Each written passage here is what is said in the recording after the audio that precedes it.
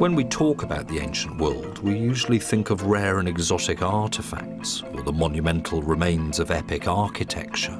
because civilization is based on an improbable idea that strangers can live and work together in dense urban settings, forging new allegiances that replace the natural ties of family, clan, or tribe.